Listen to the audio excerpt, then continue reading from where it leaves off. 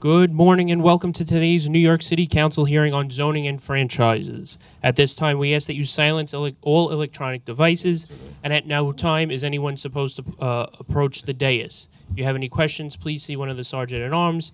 Chair, we're ready to begin. Good morning, everyone, and welcome to a meeting of the Subcommittee of Zoning and Franchises. I am Councilmember Kevin Riley, Chair of the Subcommittee. I am joined by Councilmember Schulman, Salaam, Carr, Abreu, Narcisse, Holden, and remotely by Moya. Today, we are scheduled to hold seven hearings. The first hearing concerns the first sidewalk cafe application that the council will hear under the revised regulations and concerns. LU 124, which is an application by Wings and Seafood. The second hearing concerns the city map actions relating to the Bronx Metro North project, which we heard earlier this month on July 9th, and consists of LUs 109 to 113. The third hearing concerns LUs 114 to 116 for a project known as 500 Kent Avenue. The fourth hearing concerns LUs 120 and 121 for a project known as 712 Myrtle Avenue. The fifth hearing concerns LUs 119 for a project known as 197 Berry Street. The sixth hearing concerns LUs 122 and 123 for a project known as Prince Point. And the seventh and last hearing concerns LUs 117 to 118 for a project known as 3033 Avenue V. This meeting is being held in a hybrid format. Members of the public who wish to testify must testify in person or via Zoom. Members of the public wishing to testify remotely may register by visiting the New York City Council website at www.council.nyc.gov/land use. To sign up, and for those of you here in person, please see one of the sergeant at arms to prepare and submit a speaker's card. Members of the public may also view a live stream broadcast of this meeting as the council's website. When you are called to testify before the subcommittee, if you are joining us remotely, you will remain muted until recognized by myself to speak. When you are recognized, your microphone will be unmuted. Please take a moment to check your device and confirm that your mic is on before you begin speaking. We will limit public testimony to two minutes per witness. If you have additional testimony you would like the subcommittee to consider, or if you have a written testimony you would like the subcommittee, instead of appearing in person, please email it to landusetestimony at council.nyc.gov. Written testimony may be submitted up to three days after the hearing is closed. Please indicate the LU number or the project name in the subject line of your email. We request that the witnesses joining us remotely remain in the meeting until excused by myself, as council members may have questions. Lastly, for everyone attending today's meeting, this is a government proceeding and decorum must be observed at all times. Members of the public are asked not to speak during the meeting unless you are testifying. The witness table is reserved for people who are called to testify, and no video recording or photography is allowed from the witness table. Further, meeting, excuse me, further, members of the public may not present audio or video recordings as testimony, but may submit transcripts of such recordings to the sergeant at arms for inclusion in the hearing records. I will now open up today's first public hearing on LU's 124 related to the Wings and Seafood Sidewalk Cafe application in Councilmember Holden's district. The application seeks to operate a sidewalk cafe with approximately five tables and seven seats at an existing establishment in Ridgewood, Queens. For anyone wishing to testify on these items remotely, if you have not already done so, you must register online and you may do that now by visiting the council's website at council.nyc.gov slash land use. And once again, for anyone with us in person, please see one of the sergeants to prepare and submit a speaker's card. If you prefer to submit written testimony, you can always do that by emailing it to us at landusetestimony at council.nyc.gov. I uh, would like to give the floor to Councilmember Holden if he has any remarks. Yes, um, good morning, Chair Riley and members of the Subcommittee on Zoning and Franchises. I'm here today to address the land use call-up application for Wings and Seafood, that's LU 124, located 785 Fairview Avenue in Ridgewood, Queens, within my district. My office has received numerous complaints from constituents about the ineffective use of these, this establishment's already set outdoor dining space. This, uh, their application for a sidewalk cafe seems excessive given the current circumstances. This estab- establishment is located near a busy subway station, a school, a library, an after school program, and a park, all of which contribute to the heavy f- foot traffic uh, in the area. Here are some of my concerns and uh, my constituents' concerns. The current outdoor dining setup is rarely in use and is often used as storage. This wastes valuable space and takes up much needed parking in Ridgewood, a neighborhood already notorious for its parking challenges. Now, I have I have uh, cars parked at hydrants constantly in that area, in crosswalks, even on the sidewalk. On several occasions, the outdoor dining structures have been used for decorative purposes rather than their intended use, further highlighting uh, they're really underutilized. Um, even a, um, a Google Maps shows in 2022 shows an inflatable dragon set up in the street. So this is uh, this is what I'm talking about. Th- th- This particular sidewalk uh, uh, is heavily used, being right at the entrance or exit of the Forest Avenue M train station, and just a block away from a park and IS 93 um, uh, school. In addition, uh, uh, in addition, the addition of a sidewalk cafe would only exacerbate the congestion in the busy area. It is also worth noting that before their sidewalk cafe application was even approved, Wings and Seafood had already constructed the structure um, that uh, that they're providing. They're providing a, a photograph, and they they erected a, uh, a structure attached to the building illegally to house the sidewalk cafe. Um, they were issued a perm, uh, summons on July 16th for an unauthorized unauthorized build-out. And here's the summons. The, app- the applicant essentially created this extension of the building. Several flags came up that caused the call up in the first place, that caused this call up in the first place, and that's why we need, we needed this to be heard by, in the subcommittee. I look forward to hearing why the applicant feels the sidewalk cafe is needed. I would also like to see a decision from the applicant on whether they will choose to proceed with either the sidewalk cafe or the uh, outdoor dining setup, but not both. Uh, Again, I want to thank uh, the chair, and I do have photographs uh, if the committee would like to see uh, the current structure. Thank you. I'll pass that around for the members. Thank you, Councilmember Holden. I would now like to call the applicant panel for this item, which consists of Kichun Wang, who will also be accompanied by a translator who is going to translate her in Mandarin for her.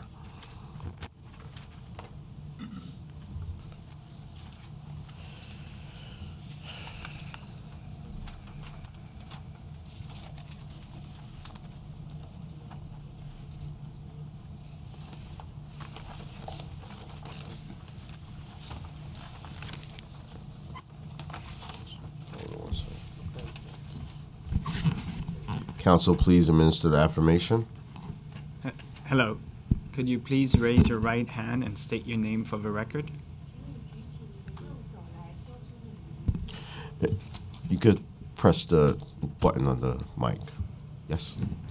Hello. Do you affirm Ah, to tell the truth, the whole truth, and nothing but the truth in your testimony before this s- subcommittee and in your answers to all council member questions? 请问你今天在所有的议员面前，你所说的话，你所说的证词，全部都是讲真话吗啊，是的， ？Yes, I do。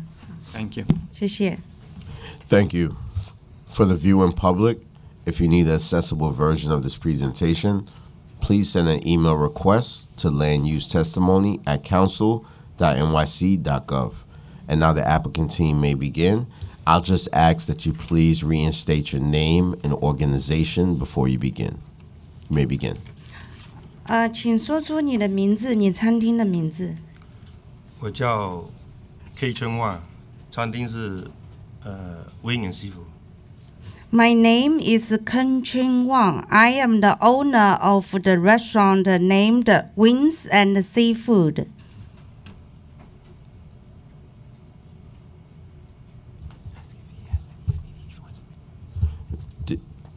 Does he want to make any statement regarding this application? 是你递交的这个申请表，你今天有没有什么想要说的话，跟他们说？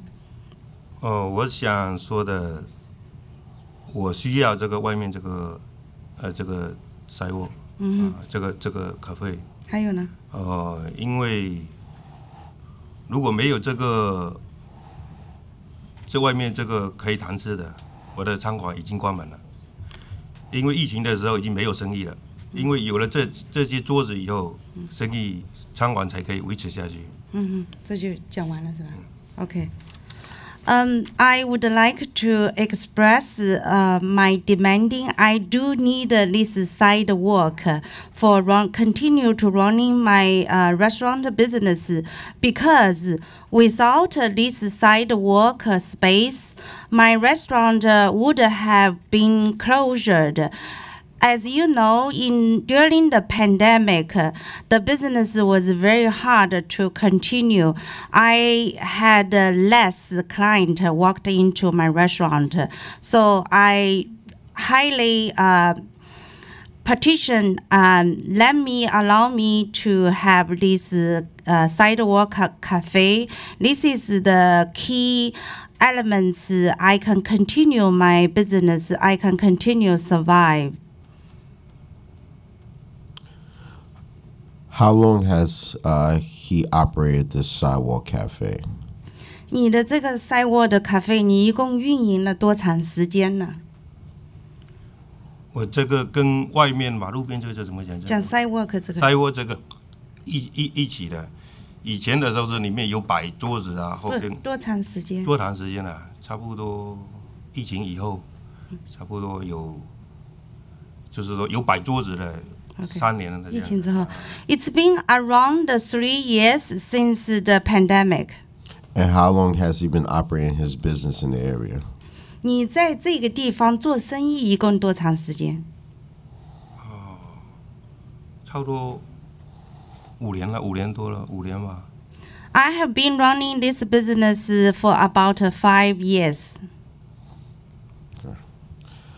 Um, I have no more questions for this applicant panel. Uh, Councilmember Holden, do you have any questions? Um, Yes, how, m- how many tables are inside uh, the cafe? 你 indoor restaurant right? In the restaurant, yes. Okay, thank you. Inside. Yes, yes. 你的那个室内的哈，你一共有几张桌子？不要算外面的，室内。室内的呃，差不多七张桌子，差不多。 There are seven tables inside. Uh, And uh, does the applicant plan to use both the street, uh, and he needs both the street and the sidewalk cafe? So he actually, he's got two outdoor dining spaces. Does he intend to keep the, um, I know he's applying for a sidewalk cafe. Does he intend to keep the street uh, dining area, which is a large structure? Sure, thank you. 他现在问你哈，议员，你在外面你有那个 sidewalk 跟那个 street，就是两个嘛？你现在想要两个都保持，还是怎么样的情况？你的计划室外的，我是申请了两个了，希望两个保留两个。这是你希望的哈。啊，是啊。 Yes, I have applied both outdoor spaces. I would hope to keep both. And how many extra tables you, would this give you then? The, the outdoor space in the street, the constituents are saying it's not being used, or it hasn't been used uh, during the past few months. Um, so why why should we approve an application for additional dining, not only in the street but the sidewalk cafe? 他现在问你哈，你递交了这个申请表，但是好像发现你没怎么使用，所以他就是说，为什么他们要允许你室外这两个继续营业呢？议员讲，哦，有有在使用啊，因为呃天气冷的时候就没有冷，然后现在呢，因为天气热了以后，我们有点旧了，然后听政府说我们又可以延续下去，付了钱了，然后我们再进去就进去呃进去重新再油漆啊这些再重新装修一下，所以说最近比较少人做，也再再有的再重新装修一下，因为太旧了。我听政府说有这个可以可以再延续九四再四年，所以说我们再把它重新弄漂亮一下，让社区更漂亮。很得到很多的客人把过路的那些过路的这些走路的这些邻居，很多人给我们支持，给我们赞美，这是真的。Uh, in terms of the vacancy, actually due to the uh, winter weather just passed, so uh, additionally, uh, we are doing some renovation for the outside space and the tables. So since I have heard of the news from the city, uh, we might be allowed to extension for four months uh, functioning. So I'm continue my pl- my plan is after the renovation, I'm gonna to resume the usage of the outdoors for the business purpose. Furthermore, I have received a lot of positive feedbacks uh, for. Um, agree with uh, for like uh, the support uh, for the outdoor space uh, usage from my neighbor, my clients, and uh, the people passing my restaurant. Do you understand the problems with the uh, parking in the area, right? Do you see that parking uh, is, there are very few spots in that area. It's near the Greater Ridgewood Youth Council. There's, um, it's a very, very busy area, not only schools and parks, but you're taking up uh, space in the street. Now you want to take up space in the sidewalk, on the sidewalk. So my, my question is that you, you received the summons from the Department of Buildings. You added on to the building illegally, building a shed for the sidewalk cafe without checking with the building department or without even going through the proper procedure. You got a violation. Uh, What do you tend, intend to do with that structure, since it is illegal? That's Hi. attached to the building. Thank you。他说你要知道你的那个位置哈是属于一些那个停车 parking 啊那些地方哈，是一个非常忙碌的这个区域。你周边还有学校啊，还有那些地铁站什么之类的哈。你现在占据了 sidewalk 跟那个 street 两个这个空间，然后你最近有收到那个楼宇局发给你的那个传票啊，那个传票显示的就是说你那非法的没有按照那个规定，你有建造那个顶棚啊，你的那个 sidewalk 上上面哈。那现在他问你关于说政府已经提出你是违章这些建筑，你接下来有什么打算？他的问题是。你室外的那些建筑，我们是按这个政府的要求，所有的要求，他政府怎么讲我们就怎么做。政府允许我们说可以再做试点，所以说我们我们只是说我们才去重新再弄一下装修一下，他所有的规矩都按政府的要求，经过他批准以后我们才做的。然后他说这个外面的路很忙，我们这条路并不忙。很忙的，在前面那一条路，First First Avenue 那边比较忙，嗯，我们这并不是很忙。OK，学校学校那边的小孩子经都是去那边，大部分都是前面那一条路，我们这边并不是很忙。关于这个停车位的问题的话，因为这是政府批准的，我们就可以做，是吧？反正你搭在外面，都是要要专业的专业的停车位，这是我理解的。但是这政府批准我们做的，我们从头到尾都是按政府的规矩来做的。你们要求我怎么做，我就怎么做，我们没有说按自己的心愿来做的。Uh, in the beginning, after getting approved from the city's uh, guideline, I had uh, built up the street cafe and the constructions. Everything has been done according to the approval and the guidelines from the city, but not uh, um, out of my own wills. So um, I just do follow whatever the instructions given to me regarding the structures building. Uh, in terms of uh, you mentioned uh, this is a very busy area, I would like to point out the busy area core area is by the First Avenue, but not specifically my street. The street I am on is less busy area. So no matter what, uh, if um, get the approval from the city, I may be allowed to extend uh, the functioning use for another four years, which might uh, have some like a conflict conflict with taking up the parking lot. Which is like a, a conf- conflict, I admit. Right, but you're you're taking up valuable parking and the structure that you have in the street i'm being told is not used. In, in 2022 this is september of 2022 um, i'll show the, the committee also. There is an inflatable structure taking up where the, where parking could be or where dining could be. You, you elected not to use it for dining. You just you have this inflatable. Now what, what's the purpose of this Uh, if you're not, you don't need it for dining, apparently.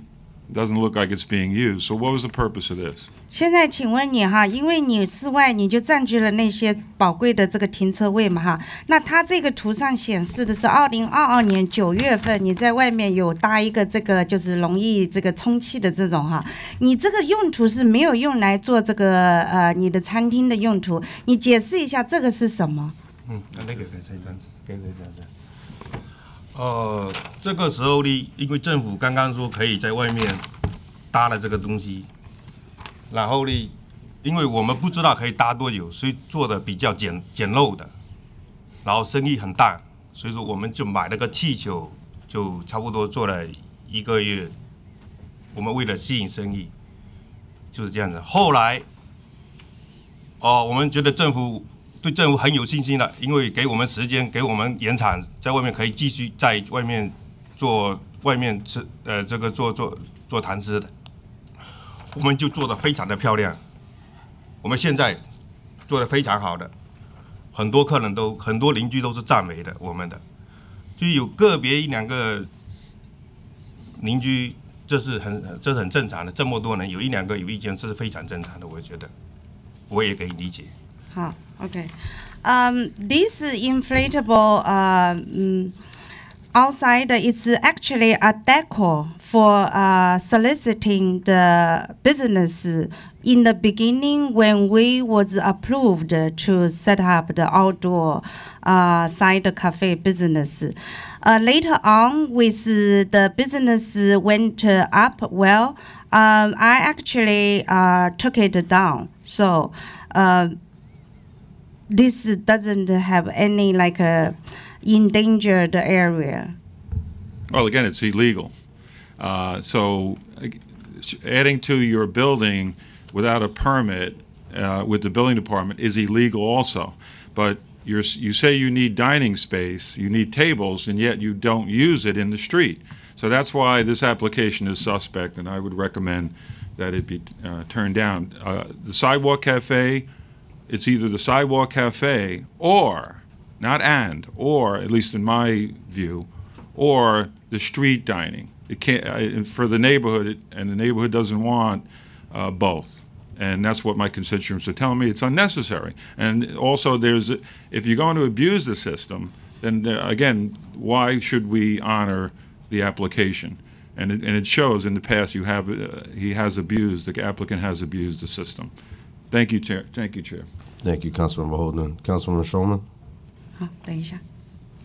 Right, Good morning. Um, Yeah, 他刚刚回答你的这个议员讲的哈，就是说，因为他你这个是不符合那个楼宇局的规定的呀，就是你楼宇局有楼宇局的这个准可证嘛，你才能这样建嘛哈。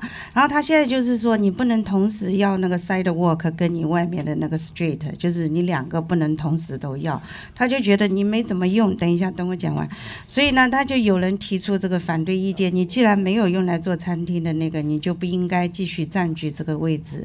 这个个是他给你讲的，所以他们就是说，对于你的这个申请啊，他们肯定不通过，你两个都想要。等一下，等一下，等我讲完他的，现在不是你回答，然后你已经回答完下一个议员了，好吗？OK，Yeah, I have just finished translation. 等一下。Thank you, Councilmember Schulman. Yes. Um, so I know that I believe that he said you said that um, you follow the city guidelines, but there are new there are new guidelines now that go into effect as of August 3rd. Wait, am I- Okay. Uh, And so, under the new guidelines, the street cafe has to be built a certain way. There are guidelines on how, and it can't be in the street from November to April. So it has to be taken out of the street, and then it doesn't get put back into April. I just want to make sure that that's understood. OK，那现在这个议员跟你讲清楚了，你听明白哈？你之前强调你是有根据市政府的那个规定建的嘛，但现在就跟你讲有新的，就是新的这个呃政策又出台了，所以你就要明白，从这个八月三号啊，August third 哈，八月三号就有新的，你要规定这个。然后他现在跟你讲，你关于你那个 street cafe 啊，就是市政府新规定，你就是从十一月到四月的时候，你不能摆，要撤掉。所以只是给你部分的，他跟你讲的这些规则，关于这个新的哈，最新的，你现在听得明白吗？请你回答。我听明白了，因为我已经把这个申请表递上去了，那边政府部门说同意了，我已经表格递上去给他了，图都图都画上去给他了，OK，他们都觉得没有问题了，现在呀，他们已经觉得没问题，他有问题一直叫我们改呀、我们改到他没有问题，现在呀、Okay, okay. Yes, understood uh, uh, what uh, uh, you have told me, but I want to let you know I have submitted my new application to the city uh, along with the uh, blueprint. And uh, uh, 你那些交上去有被通过吗？他一直他现在还没通过，但是他一直叫我们改 OK 改到他行了，他说 Yeah 现在没有意见了 Yes, 已经在 understood. 去啊 Okay, currently regarding the new application along with the blueprint, we are in the midst communication, communicating with the uh, city department to try to get the final result.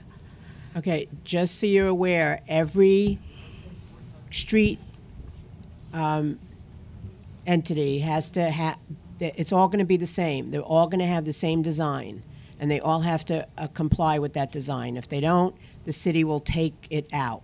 The city will remove it. Okay, So that's, so, so just make sure that that's understood. You can send in all the blueprints you want. The city has its own blueprint. Am I correct in that, Bob?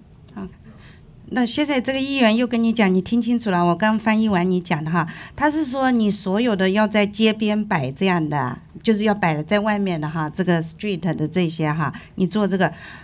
整个 city 是统一的、统一的这种图设计，就是大家都是一样的规定，你要遵照这个规定，明白这个意思吗？接下来的我知道，我一定按政府怎么要求，市政府怎么要求我怎么做。，Yes, uh, understand. So I will uh, comply with all the regulations and the guideline. 他已经那个外面的塞窝那个已经政府都批准了，他已经都批准了，他说已经没有问题了。 Okay. Actually, I have been approved by the city regarding the sidewalk. That's a previous one. They're not approving anything. August 3rd, people have to submit. So whatever was done previously is no longer in effect. 你讲的那些批准是旧的，现在跟你讲新的，就是他提醒你我一定按八月三号。我一定按政府的要求，我一定会按政府的要求怎么做，我不管花多少代价，我都要按政府规定来做。Surely, I will endeavor uh, for uh, following all the new guidelines. Um, do you own any other restaurants? 你有其他的餐厅吗？我现在没有了，我只有这一间是吧嗯对。？I only have this one. All right, thank you very much. 好，谢谢你的回答。Thank you, Councilman Schulman. Are there any more questions from council members? All right, there being no questions, this applicant panel is now excused. Thank you. 好，可以了，我们可以讲完了。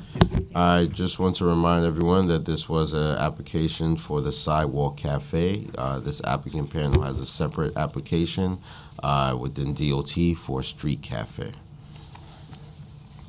Council, are there any members of the public who wish to testify regarding the special permit applications relating to the Wings and Seafood Sidewalk Cafe application remotely or in person? No, Chair. All right.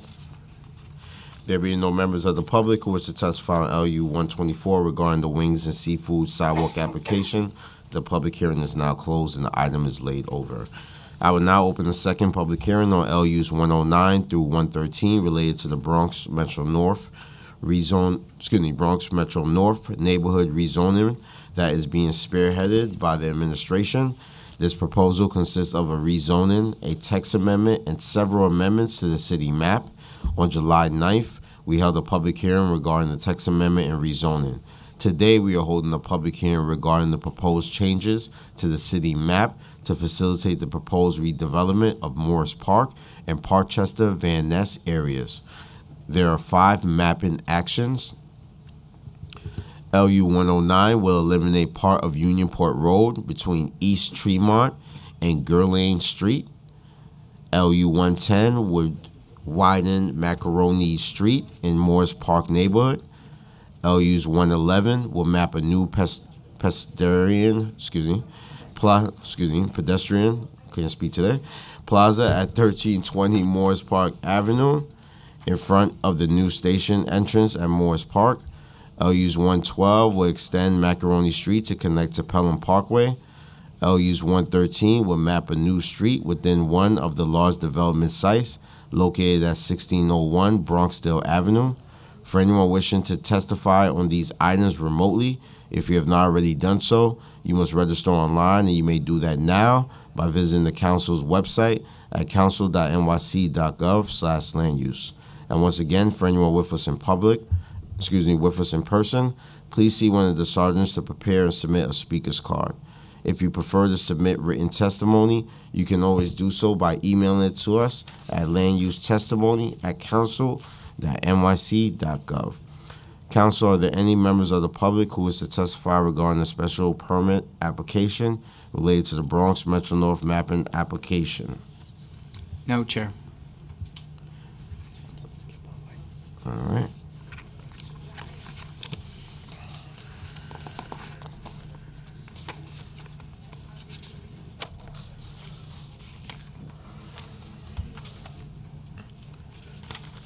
There being no members of the public who wish to testify on LUs 109 through 113 regarding the Bronx Metro North map in action, the public hearing is now closed and the item is laid over. I will now open today's third public hearing on LUs 114 to 116 relating to the 500 Kent Avenue rezoning proposal in Councilmember Restler's District by the Brooklyn Navy Yard. The proposal consists of multiple actions to develop a commercial development that will include a waterfront, Esplanade, that will be publicly accessible. For anyone wishing to testify on these items remotely, if you have not already done so, you must register online, and you may do that now by visiting the council's website at council.nyc.gov slash land use. And once again, for anyone with us in person, please see one of the sergeants to prepare and submit a speaker's card. You can also email it email it to us at landusetestimony at council.nyc.gov. Councilmember Restler, do you have any remarks regarding this project? Thank you so much, Chair Riley. Uh, It's a pleasure to be here with you. I really want to thank the development team. I am very pleased that they have partnered with a distinguished local nonprofit organization to pursue this project.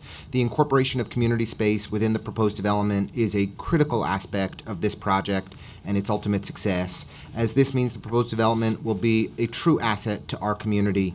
Uh, and I'm really pleased that the developer, in partnership with the local nonprofit organization, has committed to not pursue a last mile facility. Um, I think that altogether this is a, a win win win for our community, and I'm really appreciative that the develop, the development team has been responsive to concerns from myself and my neighbors.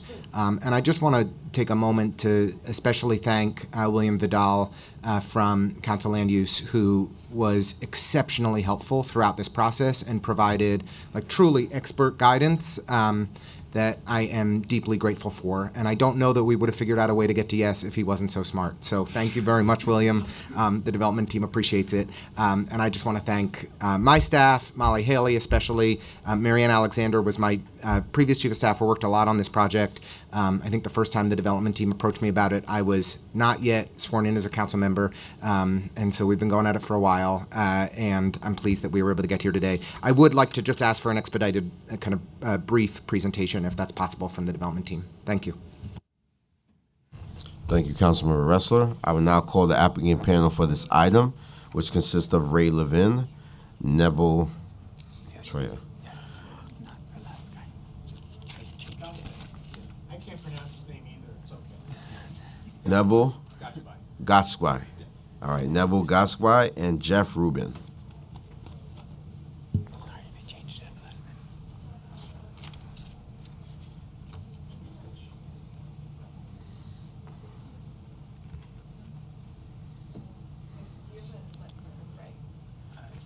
I do not, but that's, okay, so apparently, Oh, Rick Parisi's here? And Rick Parisi. Council, can you please administer the affirmation? please raise your right hand and state your name for the record. Raymond Levin. Thank you. Do you swear to tell the truth and nothing but the truth in uh, your testimony today in response to council member questions? Yes. Thank you. Thank you, fellas. For the viewing public, if you need an accessible version of this presentation, please send an email request to land use testimony at council.nyc.gov. And now the applicant team may begin. I'll just ask that you please reinstate your name and organization for the record. Good morning. I guess it's still morning. Um, I'm uh, Raymond Levin. I'm special counsel at Herrick Feinstein. Uh, with me is, as we said, was Nebel from uh, Marvel Designs, the architects, uh, Rick Parisi from MPFP, the landscape architects, and Jeff Rubin from PHA, the environmental consultants. Uh, we have. Uh, That's just the intro slide, so oh, okay. Um, you just tell them next and all. Oh, okay. Oh, I'm sorry. Next, next. and uh, next after that. We're going to go fast. The council member asked for fast. Um, the, uh, the co-applicants are seeking zoning actions, including a map change from M31 to M15 at 500 Kent in South Williamsburg, and you can see the, the difference from the two maps in the red area. Next, please. Um, the site is located on Wallabout Channel um, with frontage on Division and Kent Avenues and abuts the Brooklyn Navy Yard to the south. Um, the site, um, north of the site, is uh, a new residential development uh, consisting of three uh, towers, closest being 23 stories. Uh, across Kent Avenue to the east is the Roberto Clemente Ball Field and Park um, and to the south is the is the Navy Yard. Both uh, our, both the, the site that we're talking about today and the portion of the Navy Yard that it's immediately to the south of us uh, currently have open uses, so there's no buildings on them. Next, please. Um, the proposed development uh, includes over 500,000 square feet of office space, uh, 20,000 sque- square feet of retail, uh, over an acre of publicly accessible open space, uh, over 200 uh, below grade parking spaces, and 100 uh, plus bicycle parking spaces. Next, please.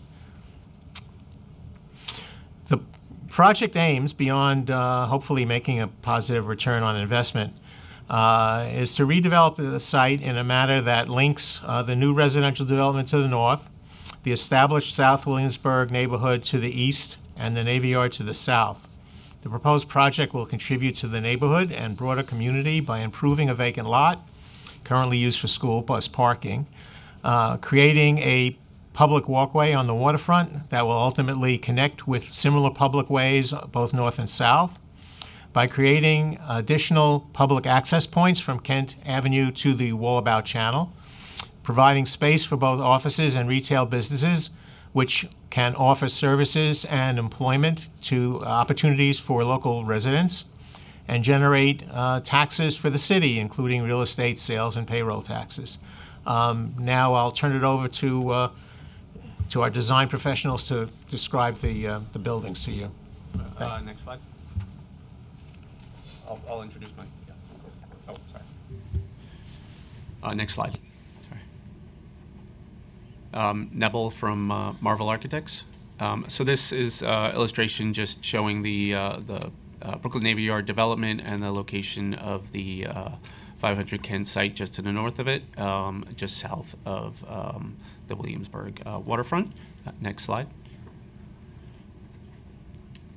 Um, a- another illustration of kind of uh, development along the waterfront with the Domino development on the far left, various other residential uh, projects on the uh, uh, on the right, and then the far right is the Navy Yard and uh, Dock 92. Um, light blue is the uh, future um, Navy Yard development, and then the pink site in the center is the the location of 500 Kent, kind of acting as this juncture between those kind of strings of development. Next slide. Uh, just uh, a note about the design and the orientation for how the massing developed. Um, multiple street gates kind of come together um, uh, along division, uh, actually, and uh, part of the site plan uh, review and analysis was about introducing a, a third access through the site. Um, so the site has multiple entries um, to access the, the future waterfront esplanade um, and introducing the diagonal axis in the image on the right um, is you know a homage to the uh, the one of the prior street grids that that never made it all the way through the waterfront um, uh, in the project. So next slide. Uh, this is a, a site plan of the project uh, showing kind of the two volumes that make up the building. Uh, low volume to the north, uh, taller tower to the south in the pink area. Um, also illustrating the, the various access points of the site. Um, to the south, there's a visual corridor that's designed as an upland connection. Uh, the required upland connection on the north side uh, along Division, um, and then the additional access point um, kind of through the center of the site. Uh, since it is a very large frontage, um, it does kind of provide multiple vantage points and access to the, the, the waterfront. Uh, next slide. Uh, the massing of the building uh, is illustrated um, in, in this diagram, um, where you can see the, uh, the low volume along Division, which allows kind of the view corridor all the way up from Bedford down Division out to the waterfront um, to kind of be maintained by having the low volume there. Um, and then you also have the, the cut through at the center of the site, providing that additional access point. Um, and then the orientation of the volume uh, adds a little bit of interest, uh, shifting off the, the axis and aligning to the, the street grid there. Uh, next slide. Next few slides are actually just uh, various views of the project. So um, this is a view um, north on Division. This is a view uh, on Kent at the south side of the site, looking at the visual corridor, uh, uh, looking up Kent. Next slide. This is a view at the center of the site at Kent, um, illustrating kind of the proposed uh, illustrative lobby entrance area. Um, move next slide. Um, and then with this, I think um, I can uh, hand it over to Rick Parisi to uh, talk to the waterfront. Thanks. Thanks. Thanks, Neville. Rick Parisi, MPFP, Landscape Architects. Uh, this slide right here shows uh, what both um, Ray and Neville mentioned before, which is the connectivity to um, Kent. Uh, in this particular project, we have three connection points, uh, two PAAs. One is a visual corridor, and that's at the Navy Yard section. One that goes through and under the two buildings, and then one on division. Uh, the the interesting thing about this project is a lot of this open space is much more voluntary. Um, there is there was a concept to bring that open space, the Shore Public Walkway, to the street and connect to the park. Uh, and I think we've we've you know we have the opportunity in this project to to bring more open space to the public than in most projects. So uh, next slide, please. Just the overall site plan. What you see here are those connections to to Kent, and you also start to see the uh, multiple levels that step up the building. Another important point of how this project is designed, we are transitioning from Kent at elevation 16 and 18 to the Shore Public Walkway at elevation 9.5 with ADA connections throughout. So all these spaces have ADA access through, and then they have stepped plazas above that. Next. And this is a view from the water, aerial view. Next. Uh, this is a view from the Shore Public Walkway. looking uh, towards the north. Next. And another view from the lower level, we have not a full get down, but we have a transition point, ADA transition point that creates a little informal amphitheater area that goes down to around elevation six. So gets gets the public closer to the water, um, you know, wh- which we always try to do in in all these public spaces. Next. Next slide. Uh, So this, um, Neville again. Uh, So this slide uh, is the same site plan we saw before. Um, This illustrates uh, all the access points mentioned before for pedestrians, but also illustrates the uh, parking entrance to the north uh, along Division, as well as the required loading dock, which is located on Kent. Um, so that was kind of worked through um, a lot with both um, city planning and with DOT for how to kind of navigate the, the bike lane on Kent um, and the traffic uh, through and around the neighborhood. So um, the, the parking originally had two entrances, one on Kent, one on Division. Parking entrance was relocated to Division. Um, and the loading dock you'll see on the next slide. Um, uh, next slide. Uh, is designed as a head-in, head-out configuration. So um, vehicles entering the site for, for loading purposes um, are always uh, in full line of sight for anything they're crossing. There's no one backing in or out of the site um, uh, to make sure it's the, the safest crossing um, it can be. Um, uh, and um, uh, that's next slide. All right, to sum up, this is what we're uh, here today asking uh, for the council to uh, approve for the subcommittee. Uh, And uh, it's uh, uh, the zoning map amendment, which I mentioned, uh, from M31 to M15, uh, a number of waivers uh, for bulk, given the uh, configuration of the uh, architectural bus- uh, uh, design that we've come up with. Um, There's also a special permit for the parking uh, garage and a certification uh, for the waterfront public access requirements are, are met. Those are the, uh, those are the requests, um, and we're here for any uh, questions anyone might have. Thank you. Thank you so much for your presentation.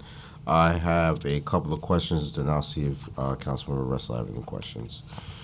You're proposing a rezoning from an existing manufacturing district to a higher density manufacturing district to facilitate commercial development. The Brooklyn Borough President recommended disapproval of this project because this is a large site in an IBZ with waterfront access adjacent to the Brooklyn Navy Yard, which makes it a prime site for maritime industrial use. Why do you believe this site is more appropriate for commercial use? Well, we, we looked at the market, um, and we came up with this, the notion that the commercial, commercial office use would be, uh, would be better. Um, Some of the reasons for that is in fact because we're located next to the Navy Yard. Uh, The Navy Yard has significant industrial space available, and it's a mission-driven organization, not-for-profit, on city land, and can offer rates for rental that are more competitive than the private sector. So those were uh, a couple of the reasons. Another reason is that um, uh, to to use the property uh, for maritime-related uses would probably prohibit the fact of having that waterfront walkway connect from the residential area to the north to the Navy Yard in the south. Now, the Navy Yard immediately south of us, their master plan shows a public walkway and also no, no maritime use at that location. Obviously, the Navy Yard itself, which was, used to build aircraft carriers, um, it has the infrastructure for water-related uses. Um, and that's another reason why, uh, in this general area, that's the better place for them. And I guess the last thing is, is that the uh, Army Corps of Engineers, in looking at, uh, at Wallabout Channel, uh, found that the, in order to, to accommodate um, the kinds of, of maritime uh, uses that, uh, that were, that the Navy Yard looked at, would need dredging, and that would just make it uh, uh, unfinanceable. So those are a few of the reasons why we ended up with, with commercial. We also think that commercial is, uh, creates the the context between the residential to the north and the Navy Yard to the south and the park across the street. Provides the linkage and, and uses that are compatible both with the manufacturing uses to the south and the residential uses to the north. Did you consult with the Brooklyn Navy Yard on how the proposed development in public open space relates to the Navy Yard? Yes, we, I've, I met with them quite a while ago, um, and we've had conversations with them since. Their, uh, open space along the, along the, uh, canal meet up with ours, and they, and in fact, we, they, if, you- if you re- recall from the drawing, um, the, uh, there's a, c- between our site and their site is now an open space and a, and public way to get to the waterfront. So yes, the answer is yes. Thank you. Councilmember Restler? Thanks so much, Chair Riley. I wonder what we would have gotten if we didn't ask for an abbreviated presentation, but appreciate you all being here today. Um, uh, I, I I got this, you know, I have these other speeches. Okay, we're, we'll save them for next time, Ray. Um, I did. I was remiss in failing to thank and recognize Lena and Brian from the Land Use Division for their great help on this project. So thank you very much. And I also really wanted to just recognize uh, Ashley Thompson from Capalino for her great help on this as well. Um, I can't remember your married name. I'm sorry. It's okay. I apologize. Um, so just a couple very quick questions for me. Um, can you state for the record that you have zero intention of introducing last mile facility at this site? We have zero intention of introducing last mile facility at this site. And can you speak briefly to how this site addresses climate resiliency concerns, just considering its location on the Williamsburg waterfront? Um, I will turn that over. Uh, there are, in, in terms of flooding, um, the project has clearly been made. At, so let me start all over. From Kent Avenue to the waterfront is a is a, a tremendous slope, and we've and Neville can. I'll let, I'll let someone who knows what they're talking about say something. So, um, as as uh, Rick stated um, in the landscape portion, there's a substantial grade change between Kent um, and and the site. Um, so, um, you know, first line of mitigation is you know the changing grade, which has buffers and, and things of that nature um, uh, to mitigate uh, kind of uh, coastal flooding. Um, but also any openings into the building that could result in flooding are raised above the flood elevation. Um, the only one that is, you know, potentially subject to it is the garage entrance, and that would be mitigated with uh, conventional dry proofing um, uh, measures. Um, and um, uh, anything that got in, well, it wouldn't get in, but Kent is well well above it, so there's no approach on Kent. So the only entry um, that we see is feasi- feasible um, uh, if there were a flooding event um, can be dressed with with normal uh, dry proofing measures. And can you just, we've had challenges at 25 Kent, even at Domino, um, at the refinery, in the Navy Yard, in filling commercial office space in this area. Can you speak to your confidence interval for how you'll be able to kind of effectively activate this space and ensure that kind of this is a financially viable proposal, eh, recognizing the kind of post-pandemic marketplace? Um, sure. Um, the, the project was started before the pandemic, uh, when the commercial office market was a little different than it is today. Yeah. Um, the applicants are still confident uh, in their ability uh, to uh, succeed with an office building in South Williamsburg. Um, the office market in the se- uh, along the East River from um, Domino down to uh, Dumbo uh, has been strong and has been more resilient than uh, Manhattan and other locations in the city. Um, there are a number of new office buildings that, um, notwithstanding concerns about the market, uh, have been have been built or are being built. Uh, the refinery, 10 Grand Street in Domino, 29 Jay Street in Dumbo, uh, 18 and 31 Spencer Street, uh, and 347 Flushing are all um, office buildings um, and uh, show a confidence in this part of the city, which may not be seen elsewhere. Um, the other thing that um, that gives us confidence is the location next to the Navy Yard. There are a lot of growing businesses in the Navy Yard that are going to be looking to expand and and, in surrounding neighborhood. Um, this area has a, a, a strong local workforce in Williamsburg and Greenpoint. Um, it has lower rents than in parts of Manhattan. Um, and there's a creative atmosphere along the Brooklyn waterfront that attracts uh, creative businesses. Um, so those things we think are important, and also the locational advantages of this particular site. We're on we're on the waterfront, which is a positive thing. We're on a bike path, which is one of the heaviest used in the city, and, and therefore the employees can come by bike rather than having to go otherwise. Um, it has open space uh, for the employees in the neighborhood people. Um, there's going to be some retail, and uh, and the new residential community that's being built surrounding them uh, provides uh, workforce uh, that may come to these office spaces. So for all of those reasons, um, our client, uh, for whatever the, the general notion is about office space, are confident that this uh, will make sense. Plus, I think if you talk to people, this building's not going to be built for a few years, and a lot of people believe that the office market's going to come back anyway. I certainly hope so. I hope it's a great success. My final question is how do you plan on recruiting building service workers and ensuring they receive adequate compensation? Um, I think that we're going to be working with uh, with the unions in order to do that. Um, plus, we're working with uh, the neighborhood organization to help recruit people. So, yes. Okay. Any more to say on that, or is that all for today? I'm afraid I'm not the uh, labor, labor the person involved in the Okay. labor.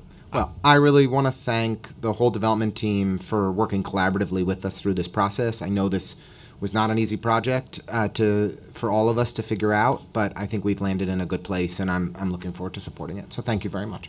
Thank you. Thank you, Councilmember Restler. Any more questions from council members? Okay. Uh, being that there are no more questions, this applicant panel is now excused. Council, are there any more, uh, are there any members of the public who wish to testify on 500 Kent Avenue rezoning proposal, remotely or in person? No, Chair. There be no other members of the public who wish to testify on LUs 114 through 116 regarding the 500 Kent Avenue rezoning proposal. The public hearing is now closed and the item is laid over. I will now open today's fourth public hearing on LUs 120 and 121 related to the 712 Myrtle Avenue rezoning proposal, also in Councilmember Restler's district, but in Bed-Stuy. The proposal consists of a mixed-use residential development with approximately 41 apartments. The, re- the rezoning would involve the mapping of mandatory inclusionary housing, and as a result, part of the new housing would be affordable apartments. For anyone wishing to testify on these items, if you have not already done so, you must register online on council.nyc.gov slash land use. Or if you're with us in person, you could contact or uh, connect with one of the sergeants to prepare a speaker's card. If you want to submit written testimony, you can email it to landusetestimony at council.nyc.gov. Councilmember Restler, you have any remarks for this project? Chair, could I ask for a point of uh, privilege? Might I be able to ask a couple questions before the presentation? Yes, you may be. Terrific. So, not yet. I just have to swear them in. Thank you very much. Okay. I will now call on the applicant panel, which consists of Richard Lobel and Kevin Williams. You could. Council, could you please administer the affirmation? Please raise your right hand and state your name for the record. Richard Lobel. Do you swear to tell the truth and nothing but the truth in your testimony today in response to council member questions? I do. Thank you. Thank you. For the viewing public, if you need accessible version of this presentation, please email land use testimony at council.nyc.gov. And now the applicant team may begin. I'll just ask before you answer Councilmember Restler's questions, uh, you just please reinstate your name and organization for the record. After you answer his questions, you may give your uh, brief presentation. Thank you. Richard Lobel of Sheldon Lobel PC. Kevin Williams of GZA. Great. Uh, Richard, Kevin, good to see you again. Um, you know, we should just do a rezoning of all of Myrtle, so we don't have to do these one by one. Um, but look, uh, it would mean that Kevin would have more, t- uh, our chair would have more time on his hands, uh, uh, which would be good for the world. So, uh, this is a great project. It brings more housing uh, and uh, to an area where we desperately need it. Um, I think it's a smart mixed-use approach for Myrtle Avenue, um, and I'm happy to block by block, uh, lot by lot, continue to, to rezone this area to allow for uh, more growth and development. You know, one of the the things that makes me saddest as a council member is that I hear from families, especially in Williamsburg, every single week that they have children who are getting married and forced to leave the neighborhood because they have no place to live. Um, this project uh, uh, by Rabbi, Rabbi Lichtenstein and Mrs. Lichtenstein will be a great asset for our community. Um, I have just two quick, three quick questions. Uh, one is uh, we'll be pursuing option one for this project. Just wanted to make sure you're aware. Um, Thank you for making us aware of that. We understand the community board's uh, preference and, and to the extent the council members. You've, worked with me before. Of course, Lincoln. Um, the, some things don't change. Uh, secondly, uh, we spoke with Rabbi Lichtenstein and Mrs. Lichtenstein about the feasibility of a windowless room, either at the basement level or ground floor level, uh, being made available for a local nonprofit organization in the community, potentially Chesed, um, which does amazing work in Williamsburg. Just want to make sure that that's something that the applicant is, is supportive of and uh, on the record. Yes, that's correct. Terrific. And then um, there are tenants who currently live on these lots. Um, as needed, they will be provided an opportunity to return to the housing that's built here if they do not have alternative housing. That is correct. And I said three, but I'm going to do four because I'm on a roll. Could you just speak to any green elements of this development? Is it subject to the all electric buildings law? Um, or do you anticipate it will be subject to that, depending, I guess, on the timeline for construction uh, and any other elements for sustainability that you'll prioritize on this project? Yeah. Uh, Kevin Williams, GZA, council member, good to see you. Um, yes, so it will be all electric. Um, I think the, the build year will make it required. Um, in terms of um, sustainability elements, um, of course, we'll be restoring tree pits, and swales along the, the frontage sidewalk area, which is wide in this area. We'll have green roof system or a, or a combined green roof solar system on the roof system, um, you know, in compliance with, with the latest requirements of local law. Um, Again, I think one of the things that we've constantly recommended to the architects and developers for projects not only in Brooklyn but throughout the city is that they apply for the very generous grants for the heightened Energy Star requirements uh, from NYSERDA uh, because there are tax incentives associated with those. And I, you know, I believe that the both the architect and the developer, uh, property owner, have agreed to those requirements. Well, I really want to just thank Chair Riley for the point of privilege. Thank you all for this good project and look forward to the presentation. Thank you, Councilman. Thank you, Councilmember Restler, Chair Riley, council members. Good afternoon. Richard Lobel of Sheldon Lobel. We're here today to discuss the 712 Myrtle Avenue rezoning. The next slide. The next slide is a summary of the rezoning uh, in terms of the requests. The first is that we will be rezoning lots 20 through 24 and a portion of lot 25 uh, in Bed-Stuy along Myrtle Avenue from an existing M12 to an R7D C24 district, which would facilitate the development of a new nine-story, roughly 49,800 square foot 5.57 FAR mixed-use building with roughly 41 dwelling units, including 10 permanently affordable. We are also, as is the case with all such rezonings, uh, applying for a text amendment to allow for mandatory inclusionary housing here as well. Um, and uh, we understand from the council member's statement that um, he intends to restrict this to option one. The next slide is the numbers behind the proposed development. Again, a nine-story building, roughly 49,800 square feet. Uh, there would be a base height of 95 feet, after which the project building would set back 10 feet at the eighth story. There would be 21 bike parking spaces within a bike room in the cellar, 41 units, and 10 affordable at option one. The next slide is the zoning map, which demonstrates from an overall view uh, the appropriateness of the rezoning in this area. You can see just generally from this large view that R7D exists already uh, for blocks and blocks to the east of this property. This was property and, and blocks that were rezoned in the 2012 North Bedford Stuyvesant rezoning. Uh, and so the context here was set at that time. As we look through the next two slides, we'll see why uh, it's appropriate for this specific site. The next slide is the tax map which shows with specificity both the area in red, the development site, uh, as well as the uh, nature of the zoning change. This entire frontage between Spencer and Wallabout, sorry, Walworth, would be rezoned to R7D with a C24 overlay. The next slide is the area map, which I think really well illustrates why this rezoning is so uh, important and so uh, appropriate. One can see across the street two R7D districts both to the northeast and to the east northeast. Uh, those were rezoned in 2017 pursuant to the 723 to 733 Myrtle Avenue rezoning. Uh, at that time, uh, the community board uh, realized that they wanted to spur development on this frontage. Myrtle Avenue here, a wide street at 75 feet with excellent transportation options in the area, was one which was well suited for the R7D C24. Uh, more recently, in 2023, this land, uh, this zoning subcommittee approved across the street, although not noted on the map, an R7D C24 rezoning for 703 Myrtle Avenue, again mirroring the same district. And now we are merely asking for that same district on the southern portion of that same uh, block frontage. Uh, important to note, in addition to Myrtle Avenue being a wide street, having excellent transit access, we also note that the R7D, when paired with the C24, is, is one of the only districts in the city which would mandate non-residential ground floor uses. This is something which is important both to the developer as well as the community board to allow for a lively thoroughfare along Myrtle Avenue and for continuous commercial use. Uh, the next slide is the zoning change map, again showing the new R7D C24 as proposed. And the next several slides show the uh, plans and materials for the building. All, all of these are illustrative. If you want to forward to the last page in the presentation, we come to the proposed unit count.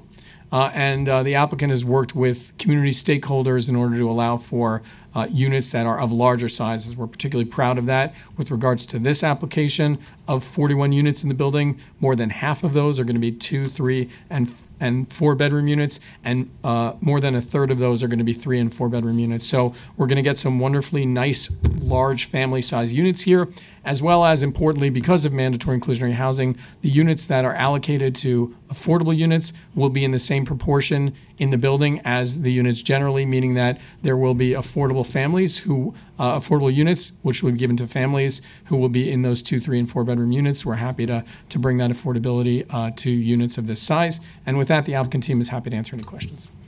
Um, that was the question I actually had, so I'm not going to ask that. Um, with that being said, Councilmember Narcisse, do you have any questions? No. All right. This applicant team is now excused. Thank you, Chair. Uh, Council, are there any members of the public who wish to testify on this application? No, Chair, there's no members uh, uh, of members, uh, members of the public who have signed up online or in person to testify. Okay. There being no other members of the public who wish to testify on LUs 120 and 121 regarding the 720 Myrtle Avenue rezoning proposal, the public hearing is now closed and the item is laid over.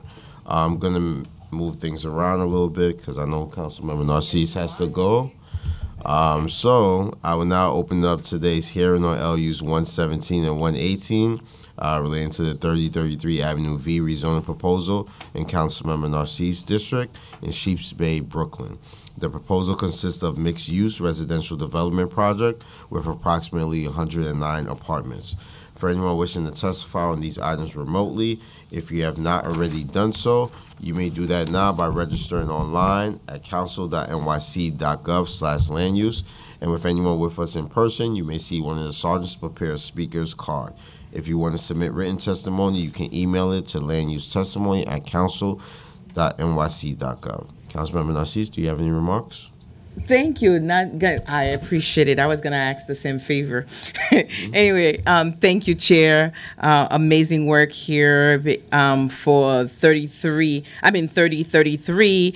Um, one thing I have to report to you that um, Community Board 15, um, except I think we only had two no's. And for me, I've been going to the process in the climate where we are right now looking for um, home for folks in New York City. I am very pleased with this project.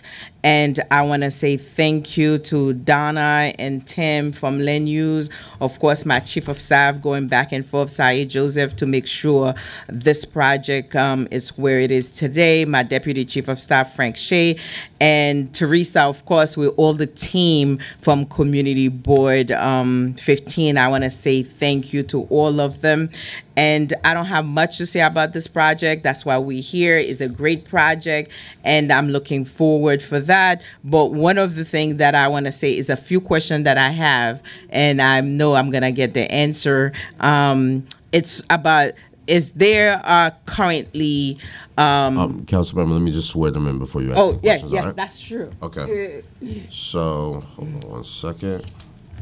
I'll be the we didn't do that we did it backwards sorry No, no, it's all right. Um, I would now just like to call the applicant panel Neil Weiss, Weisberg? Weisbard. Weisbard, thank you. Uh, council, can you please administer the affirmation? Yes, Chair. Could you please raise your right hand and state your name for the record? Neil Weisbard. You swear to tell the truth and nothing but the truth in, resp- in your testimony today in response to council member questions? Yes, I do. Thank you. Thank you. For the viewing public, if you need accessible version of this presentation, please send an email request to landusetestimony at council.nyc.gov. Uh, I will just ask you, Neil, before you answer the council members' questions, uh, just reinstate your name and organization for the record. Uh, once she's finished with the questions, you may proceed with the presentation. Neil Weisbard, Cypher Shaw, on behalf of Ford Coyle Properties, owner of 3033 Avenue V, Brooklyn. You could go ahead, council member. So I want to say thank you to you again. It's been a long process, and um, they are currently eight active. You know, as a former business person, I'm always um, caring about the the business because um, they've been there for so long. Um, we are currently have eight active retail tenants on the site. How many retail spaces will be provided as part of this proposal, and what will be the square footage for each? That's one. Second, please share your commitment to providing the opportunity for existing retail tenants to reoccupy the site, including plans for keeping commercial rents the same, adjusted for inflation, of course. And the third one, please state for the record your commitment to engage the with Nostrand houses tenants to determine what kind of retail they want to see as part of this project because they're next to this development. Thank you. So, thanks for your question. I'll start with Nostrand Houses Tenants Association. Your office has provided me with contact information, and I've sent an email to try to meet with them. Just have not arranged that yet. And as you know, we've submitted a letter to your office as well, indicating that that we will meet with them. The commercial spaces, we're not sure how many they will be, but I can. The commitment of ownership is to provide the existing tenants with priority for those spaces. So if all eight tenants want to occupy the building, there will be eight spaces for them, and they will be at current rents or as adjusted for inflation, as you stated. And as you know, and just for Chair Riley, the ownership has signed a commitment letter evidencing that as well, and provided that to your office. the other concern that I have it's um, for the Nostrand houses. Um, if we're gonna have for them to have an opportunity as well for the retail space. Yes. because they're right across. And they, we have eight active tenant right? So how many at least minimum the space that you're gonna have right now? So the, the delineation of spaces hasn't been defined yet. There's For the 14,000 square feet of commercial space, and the will accommodate the existing tenants if they want to return. And if Nostrand Houses tells us we have this great idea for a community space, then that will be taken into account as well. And one of the spaces would be dedicated to them. thank you so much appreciate your time and uh, let's coming. do it thanks Okay, thanks for having me. Uh, next slide, please. So the summary of the land use actions are, this is an amendment to zoning map 29A, which underlines lot 36 on tax block 7367 from an R4 residence district to an R7D district within a C2-4 commercial district. This will also include the area as part of a mandatory inclusionary housing area. Next slide, please. The site is located on the north side of Avenue V. It comprises the entire southern portion of the lot. It is a 20,000 square foot lot. They, it has frontages on three streets, two of them being wide. That is Coyle and Avenue V. Next slide, please. The site is currently improved with a one-story building that has 11 commercial establishments. And as Councilmember Narcisse mentioned, eight of them are currently occupied. Next slide. This is a proposal of the rezoning map showing the area in red that will be, if approved, rezoned to an R7D and C2-4 commercial overlay. Next slide, please. This is an aerial photograph of the site. To the east are numerous six and seven story Nostrand House building, NYCHA buildings. Next slide, please.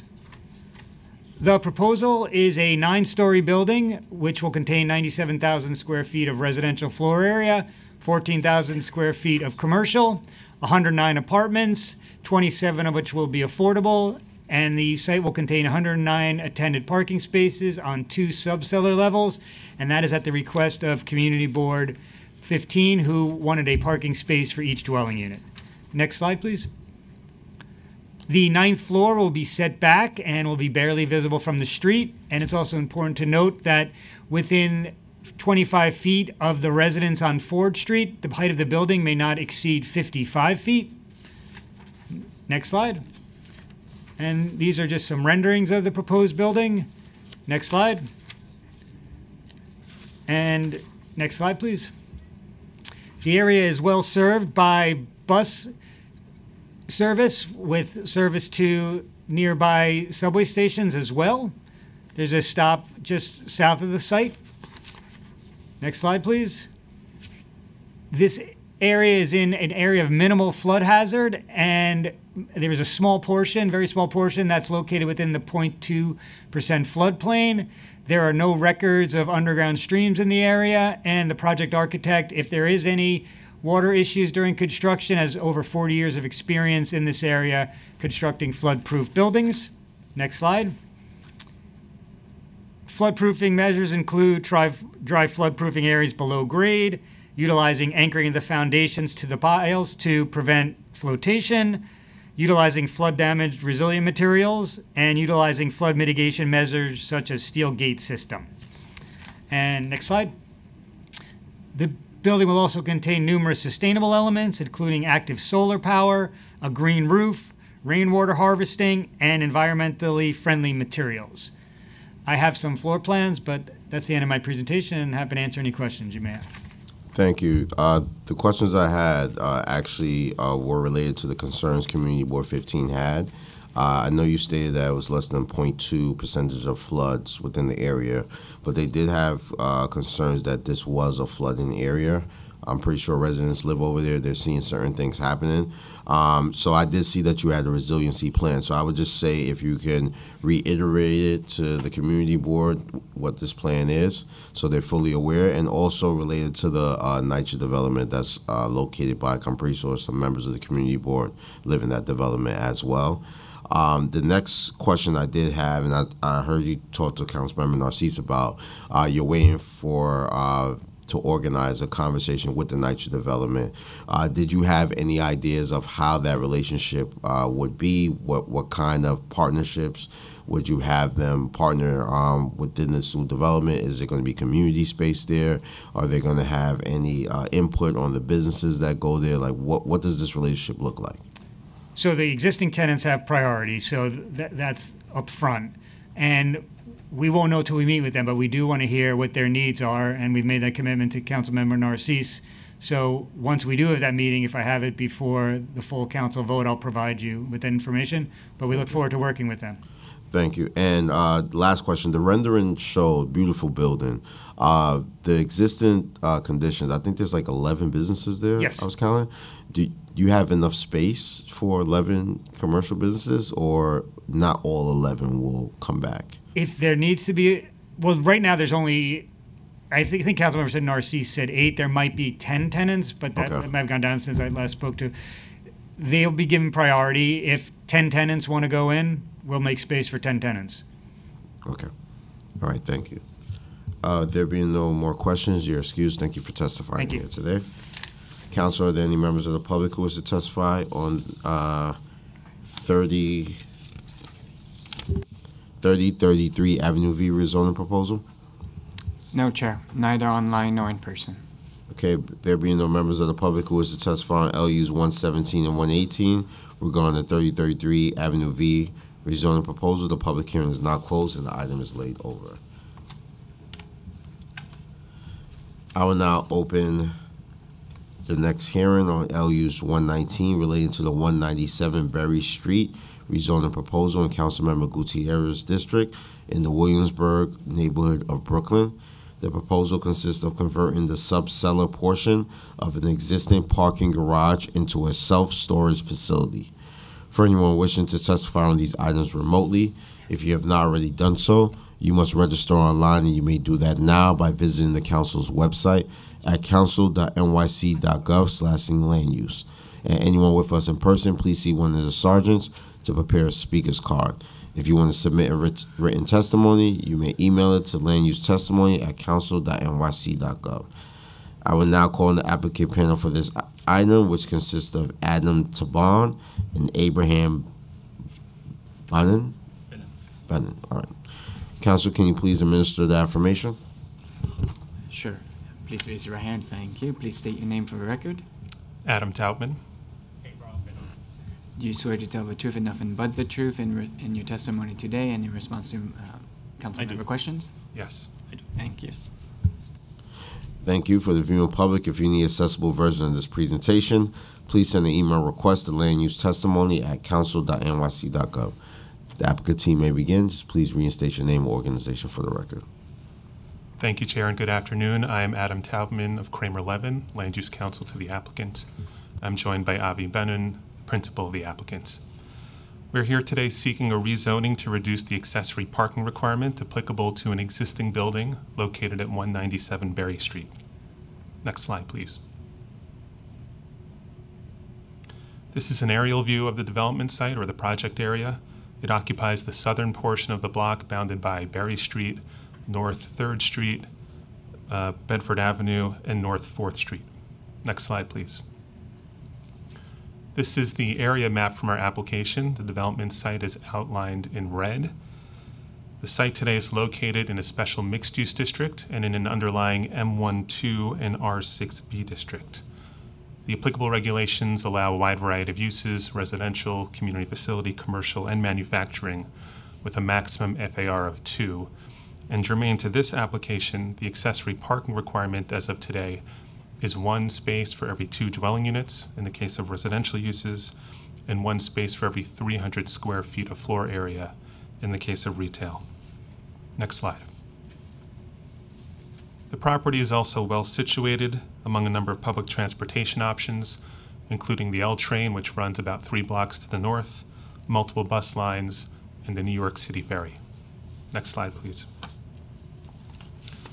This is a photo of the existing building. We're looking at it from the corner of Berry Street and North Third Street. It's a three to five story mixed use building with three cellar levels, and it was constructed in 2010. The existing uses include 84 dwelling units, three retail establishments, a health club located below grade, and the accessory parking garage, which is the subject of this application. That garage is located on the sub-cellar level and contains 142 required accessory parking spaces. 100 of those spaces are accessory to the commercial uses in the building, and the remaining 42 are accessory to the residential uses in the building. Another thing that you can see from this image is that Berry Street is part of DOT's Permanent Open Streets program. So vehicles are restricted to local access and deliveries, which generally lowers vehicular traffic on this street. And some number of months ago, DOT implemented two-way bicycle traffic along Berry Street and reversed the direction of vehicular traffic along certain stretches of Berry Street, which is expected to further reduce vehicular traffic. It's a little bit difficult to see uh, from this distance, but along Berry Street is the entrance to the parking garage that I mentioned a moment ago, tucked behind that tree. If you can go to the next slide, please, we'll see some close-up images of that entrance. Parking garage is accessed from Berry Street, as I said, and located primarily below grade on the second subcellar level. It is an attended garage. Cars are dropped off with an attendant in an approximately 80 by 26 foot entrance area shown here. The rear of the entry area contains two car elevators that attendants use to bring cars down to and up from the subcellar parking level. The garage contains a total of 28,000 gross square feet, 2,000 of which comprise this entrance area, and the remaining 26,000 of which are located on the below grade parking level. Next slide, please. These are images of the below-grade parking area. You can see the two car elevator doors in the upper left image. Uh, really, the story that these images tell is that the car garage is severely underutilized today. When we started this process a couple years ago, on average, only approximately 80 of the 142 parking spaces were utilized at any given time. That number has gone down as we've worked our way through this application process. And it's actually an inflated number in that the garage charges rates that are well below market rates in the surrounding area. Uh, those below market rates inflate utilization of the parking garage, and even with those lower rates and the higher utilization, the garage still operates at a loss. So we've identified a few reasons for this. First, the zoning regulations that are in effect today do not reflect the observation that the city has recently made in other contexts, which is that development sites in transit-rich areas do not require as much parking as other areas. But there are also a few factors specific to this location. Chief among those is that residents in the building have told Avi on a number of occasions that they don't like to use the garage because the operation of those car elevators results in significant delays in retrieving cars. And further, we believe that the implementation of the Open Streets program will only further reduce demand for the parking garage. Next slide, please. So this shows the proposed rezoning. The southern half of the block would be rezoned from the existing M12 and R6B pair district to an M14 R6B district. A very small portion of the development site would remain outside the rezoned area, but under the split lot regulations of the zoning resolution, the new zoning would apply to the entire site. Next slide, please.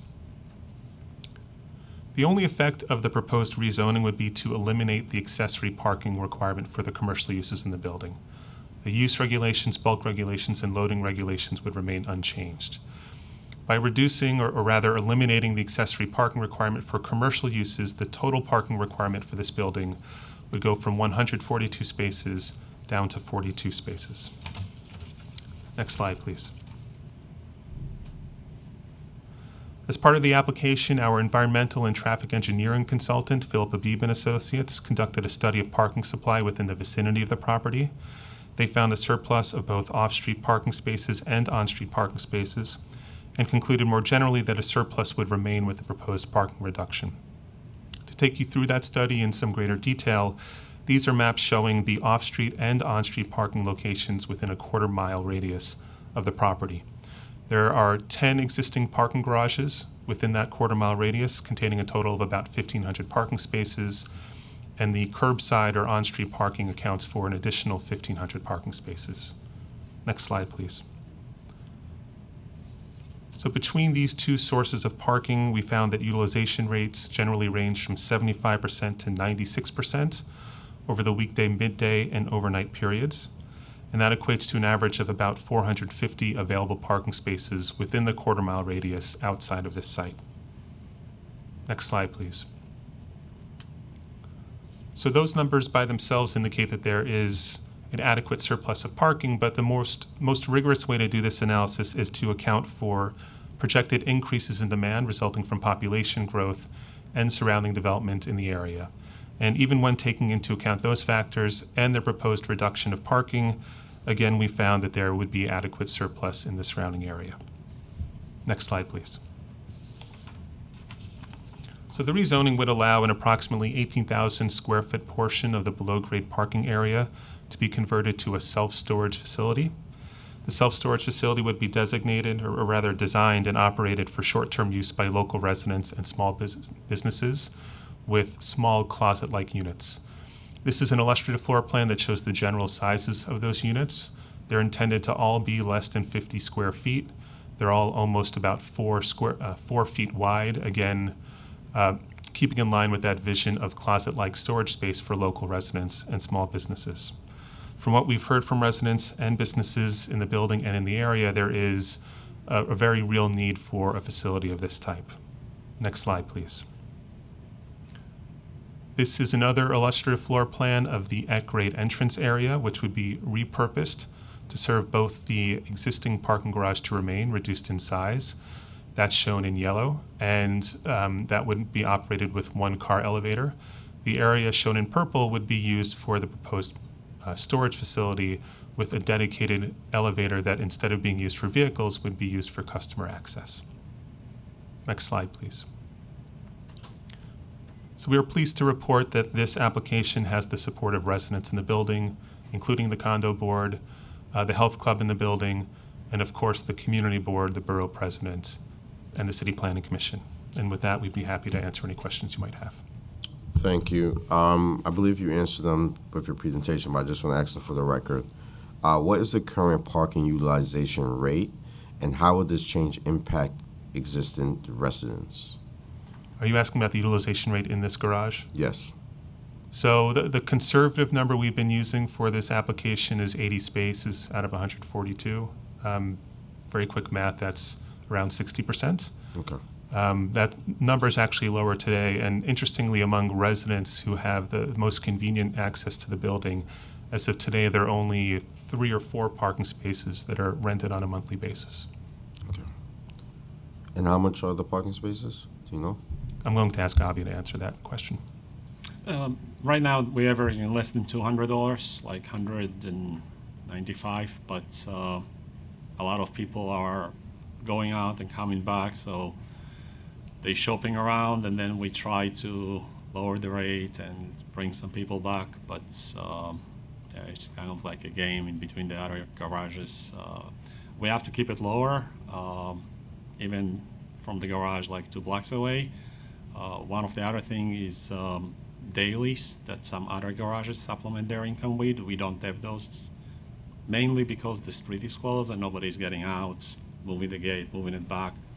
And also, if they do that, there is a um, a Whole Foods garage that is free during the day. So if you really want to park, you just park there.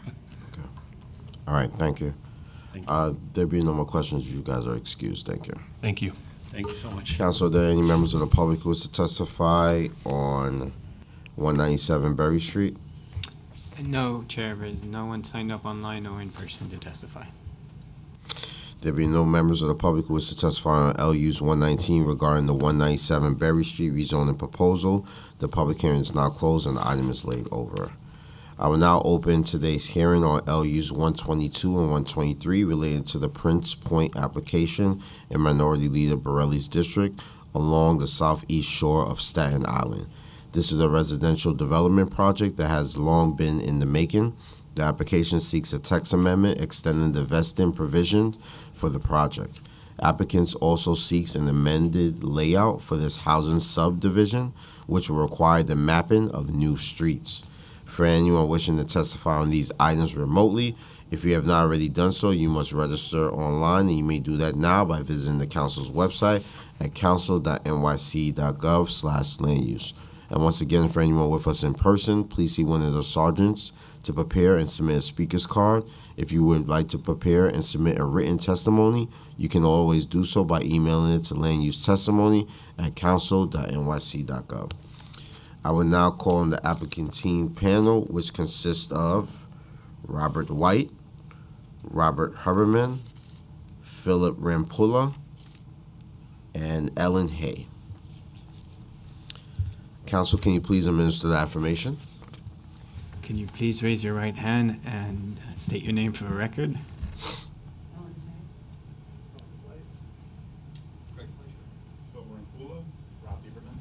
You swear to tell the truth and nothing but the truth in your testimony today in response to council member questions? Thank you. Mr. Frazier, I just need you to fill out a speaker's card if you're going to be testimony, testifying. You guys did already? Well, We have four speaker cards and five people, so Yeah. somebody f- didn't. Yeah. Thank you. No, it's all right. Thank you for the viewing test, uh, excuse me, for the viewing public. If you need an accessible version of this presentation, please send an email request to land use testimony at council.nyc.gov. And now the applicant team may begin. Thank you for being here today. Just please reinstate your name and organization for the record. I'm Ellen Hay from Herrick Feinstein. I'll give a few brief words, introduc- introducing our team, and then Phil Rampulla will make the presentation. Um, I'd like to introduce Rob Huberman from Herrick, Phil Rampulla from Rampulla Associate Architects, um, Robert White from AKRF, and Greg Fleischer from Capital Environmental Consultants. This approximately 37-acre vacant site is located in Prince's Point neighborhood between Wolfe's Pond Park to the east-north, Lemon Creek Park to the west-south, Purdy Place to the north, and Raritan Bay to the east, south, and southwest. The developer purchased this property in 2017 from the former owner, Muss Development. Over the past three decades, the development site, in addition to multiple land use approvals and associated restrictive declarations, has also been the subject of New York State DEC review, permits, and restrictive declarations. The three primary land use goals for the past 35 years of efforts to develop this site have remained the same to provide residential use with public access areas which remain consistent with neighborhood character and the existing adjacent parks, support environmental goals in accordance with New York City Waterfront Revitalization Program and the New York State DEC standards, and in conformance with the Borough President's 2020 standards for new residential developments provide map streets and infrastructure consistent with current New York City DOT and New York City DEP standards. The application seeks approval on three actions. A city map amendment for four new 50-foot wide streets within the site, authorization under section ZR 10764 to adjust the boundaries of the previously approved zoning lot subdivision, and the chairperson modification of the fifth amended restrictive deck. At this point, I'd like to turn over to Phil, and we can have the slides. Good afternoon. Next slide, please. One of the things that's very interesting about this project is um, normally these pr- these privately built streets would go to the New York City Board of Standards and Appeals for approval to build on an unmapped street. Uh, in the last mayoral administration, they got away from uh, BSA approving GCL, General City Law 36 streets, and we were instructed to map these private roads. Uh, next slide, please. Phil, can you just wait one second? I think we Oh, just experienced Okay. the Zoom Um, problem. So this is. Wait, ju- just just hold on. Okay. One minute.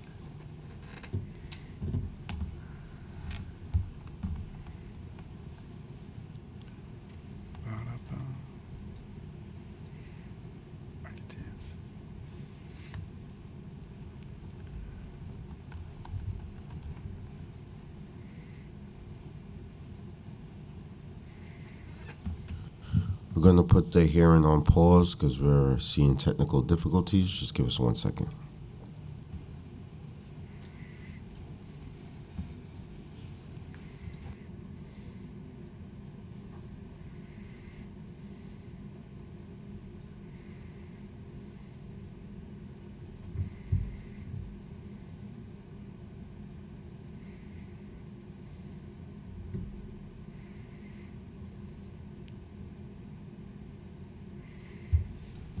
A physical copy of a presentation by any chance? I don't. I do not. So let's just wait one more minute.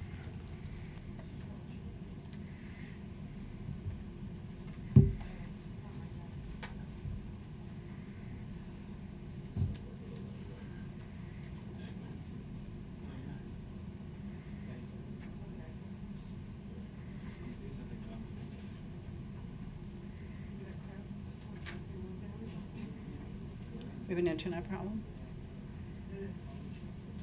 Oh.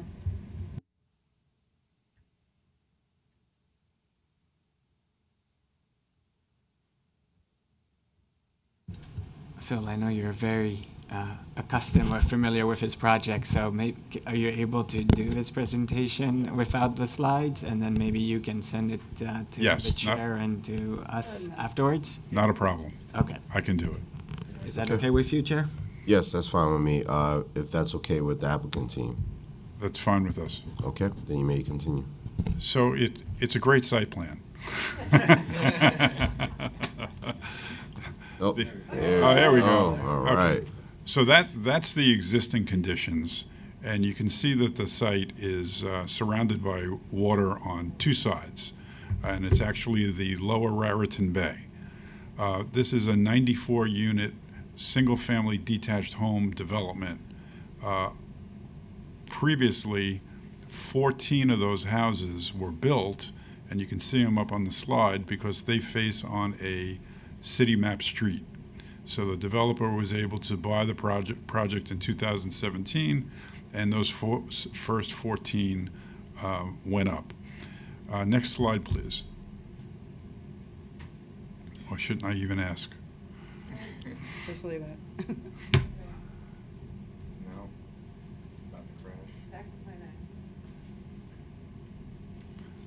So a- access, pedestrian access, t- okay.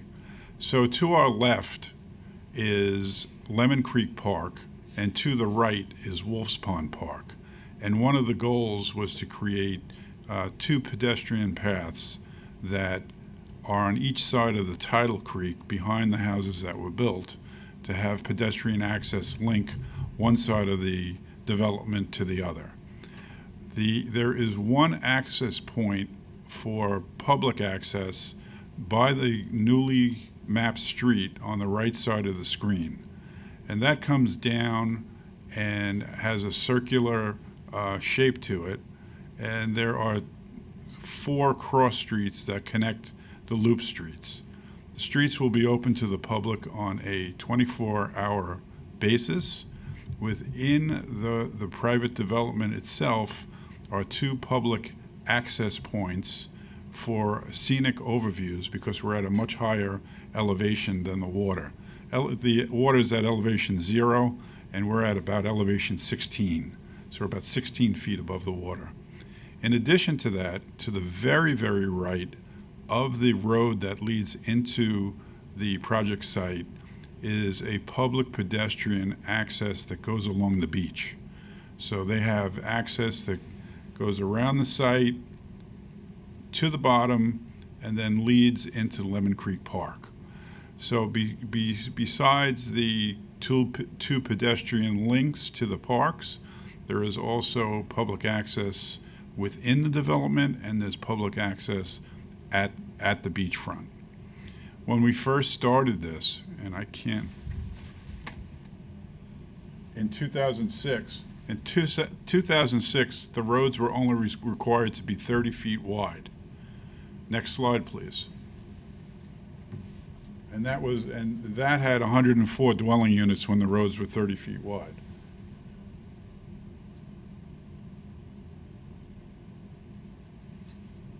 Come on.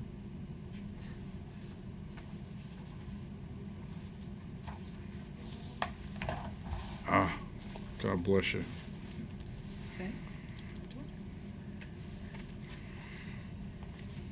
The next slide would be in 2019, and that's when the roads would be 34 feet wide, and we went down to 104 dwelling units. Then in 2020, the fire department changed uh, the regulations to have newly created streets from 34 feet to 38 feet wide, and we went down to 93 units. And that was in two- two- 2020. And then in 2023, the fire department changed the regulations once again. They went to 34-foot wide streets, which means a 50-foot mapping, because you have 34 feet for the pavement, and then you have the planting strip on both sides and the sidewalk. That comes to be a 50-foot wide street. So we're asking for 50-foot wide streets to be mapped within the whole development. Um, These will, the infrastructure within the streets will be built to DOT standards. It will not be private road standards. And the owner will deed this property to the city of New York, I believe, for one dollar. So there's no acquisition costs at all. Um, I'd be glad to entertain any questions at this point. Okay. I'm just going to entertain you with three questions, okay? Um, can you describe how the public access areas will operate and will they be open 24 7? Yes. Yes. Uh, How- You I- wanna take that? Go ahead. Yes. The answer is yes. And the access is open from dawn to dusk. Okay. Um, how would they operate? Uh, can you give a little bit more detail? Well, it's a private development, so anyone living in the community will be, in the residential area, will be able to utilize this, the public access areas. And uh, with regard to those living in the community, they can walk over and walk through and go to the public access areas, or they, c- oh, I'm sorry, can't hear me, I'm sorry. They can access the same as the private residents. Thank you. Uh, this is a very important question, uh, especially to the community and the minority leader. Will the development team commit not to place any gates at the entrance of the public accessible spaces? Yes. Okay. I, I'm not quite, quite sure what you mean. Not to, not to close it off so that people We can't will get not in. construct a physical barrier to Yes. close off? Yes. Correct. All right. We will not. All right, thank you. All right, and is there an estimated timeline to complete this project? I, I think uh, build-out's going to take probably three to four years. Three to four years? Yeah. Okay. Starting when? We can probably start late winter, early spring of next year, if this gets passed. Okay. All right. All right. Uh, there being no other questions for the applicant team, you are now excused. Council, are there any members of the public who wish to testify on Prince Point application? How are you going to accept? N- No, Chair, there is no members of the public who- in person or online who wish to testify. All right. There being no members of the public who wish to testify on LUs 122 and tw- 123 regarding the Prince Point application, the public hearing is now closed and the item is laid over. That concludes today's business. I would like to thank the members of the public, my colleagues, subcommittee council, land use, and other council staff, and the Sergeant at Arms participating in today's meeting. This meeting is hereby adjourned. Thank you.